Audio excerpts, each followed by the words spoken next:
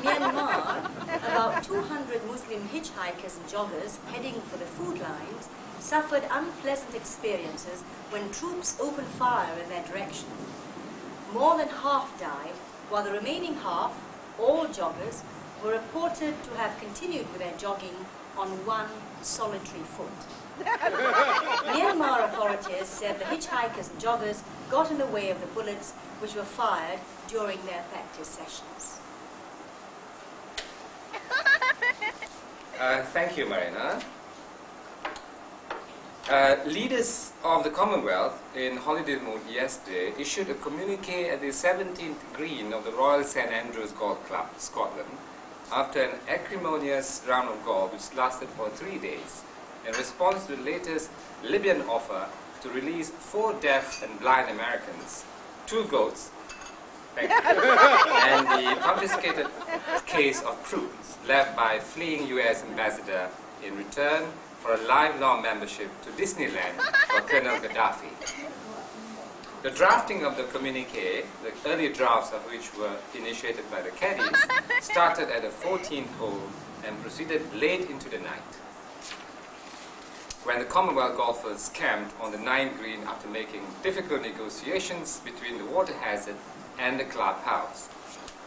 Opinions differed as to whether a dangerous precedent would be created if Gaddafi was granted the lifelong membership to Disneyland. Emissaries to Gaddafi, which included Bob Hope and Jack Nicklaus, failed to persuade Gaddafi to lower his demands and to settle for a lifelong membership with the prestigious all-female mud wrestling club of San Francisco. Bob Hope, interviewed at the Tripoli Golf Club, said that the negotiations were quite difficult as the course had a lot of bunkers and water hazards, and as Gaddafi was playing to a handicap of 18 on the first nine and 12 on the second nine. Bob Hope said that he had instructions to put pressure on Gaddafi on the third and fourth hole but blew out on the sixth and seventh hole when Gaddafi started to use his sawn-off M16 assault rifle to putt and hand grenades to enlarge the holes on the greens. Bob Hope's offer to Gaddafi to play two above par after that was rejected by the Libyan leader who said that even his camels would have been offended by the bribe. Early this morning, the Commonwealth leaders continued with their arduous task of completing the second 18, with the leaders teeing off according to the density of their skin pigmentation. The darker shade members of the Commonwealth complained that matters would only get worse if they had to be at the tail end of the teeing queue under the sweltering Scottish summer sun. Some progress was made in drafting the communique after breakfast on the sixth green and after the Prime Ministers of the United Kingdom, Canada and Australia birdied the fourth, fifth and sixth holes. African Commonwealth leaders complained that they were badly handicapped by the non-English speaking caddies and that they were suffering from sunburn.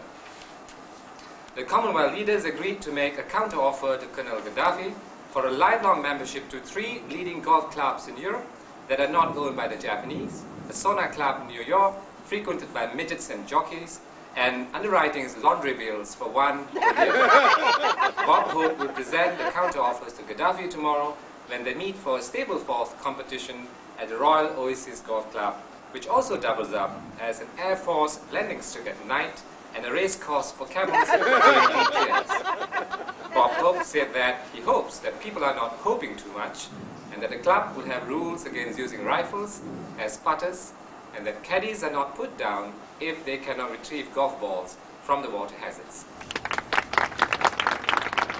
Rumours of more marital tremors and matrimonial possibilities in the British royal households are circulating with a spate of separate holidays among members of the royal family. Prince Philip will be having a separate holiday on the grounds of Windsor Castle, while the Queen will be having a picnic with her poodles at the back garden of the palace Prince Philip's brand of homeliness and frankness will be put to the test during the holiday season when an influx of Japanese holiday makers descend on Windsor.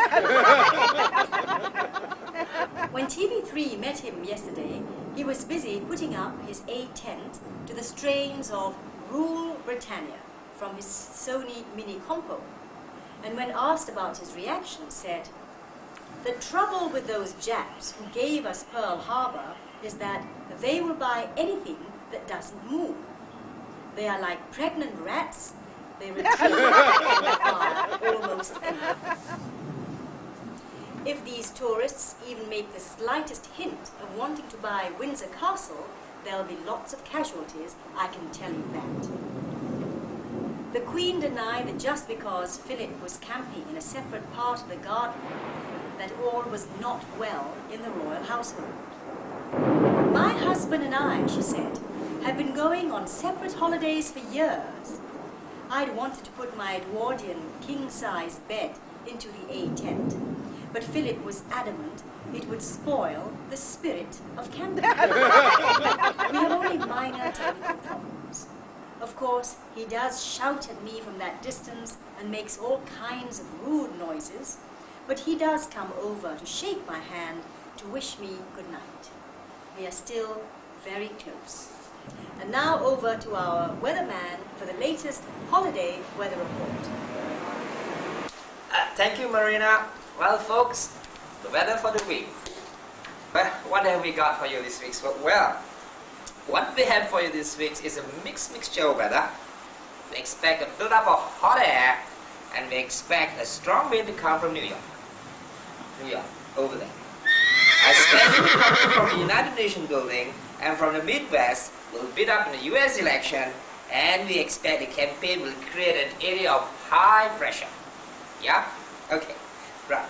And here and here our weather balloons are over Oxford Street in London and the Champs-Élysées in Paris.